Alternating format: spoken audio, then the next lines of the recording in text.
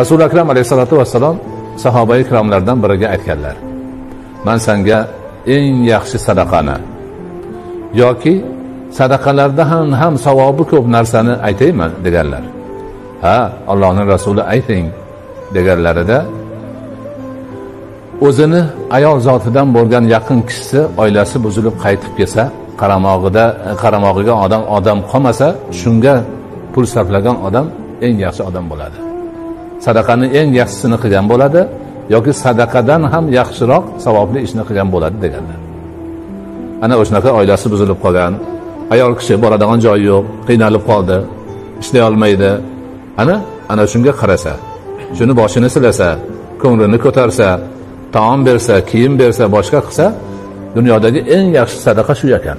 Sadaqadan ham yaxshi amalni demak qilgan bo'lar ekan.